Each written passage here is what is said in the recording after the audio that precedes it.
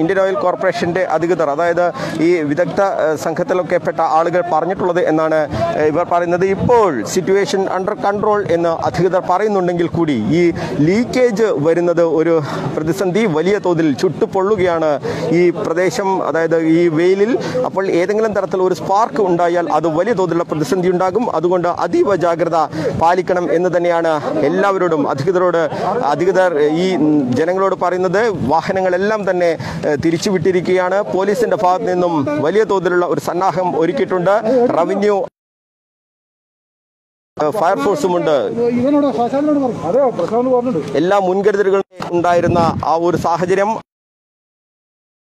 എല്ലാ മുൻകരുതലുകളും ഇവിടെ ഇപ്പോൾ സ്വീകരിച്ചു വരികയാണ് പോലീസിന്റെ ഭാഗത്തു നിന്നും. അധികൃതരുടെ ഭാഗത്തു നിന്നുമൊക്കെ അത്തരത്തിലുള്ള ഒരു മുൻകരുതലുകൾ സ്വീകരിച്ചു ഫയർഫോഴ്സ് ഈ ലീക്ക് ഉണ്ടായ സ്ഥലം ആ സ്ഥലത്ത് മണലും മണ്ണുമൊക്കെ ഇട്ട് ആ ലീക്ക് ജീവൻ പണയം വെച്ചു എന്ന് തന്നെ വേണമെങ്കിൽ നമുക്ക് നമ്മൾ ഉൾപ്പെടെയുള്ള സാഹചര്യത്തിലാണ് എന്ന് അധികൃതർ മുന്നറിയിപ്പ് നൽകിക്കൊണ്ടേയിരിക്കുന്നുണ്ട്. ഏത് സമയവും ഒരു പ്രതിസന്ധി ഉണ്ടാകാം എന്നുള്ള രീതിയിൽ തന്നെ എല്ലാവരും നിൽക്കണം എന്നുള്ള ഒരു നിർദ്ദേശം ഇവിടെ നിന്നും നൽകിയിട്ടുണ്ട്. അതായത്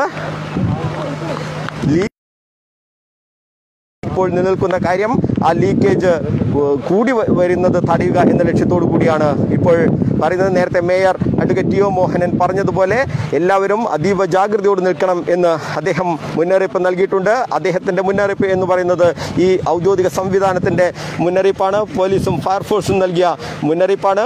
പോലീസും ഫയർഫോഴ്സും നമ്മളോടും അതേ രീതിയിൽ തന്നെ പറഞ്ഞിട്ടുണ്ട്. നമ്മളോടും ആ രീതിയിലെ മാധ്യമപ്രവർത്തകരെ ഉൾപ്പെടെ ആ ഭാഗത്തേക്ക് പോകരുതെന്ന് കർശനമായി നിർദ്ദേശങ്ങൾ നൽകിയിട്ടുണ്ട്. ദൃശ്യങ്ങൾ കാണിക്കുക എന്ന ലക്ഷ്യത്തോടു കൂടി മാത്രം നമ്മൾ ഇപ്പോൾ ഇതിന് പരിസരത്ത് തന്നെ നിൽക്കുകയാണ്. ഏതായാലും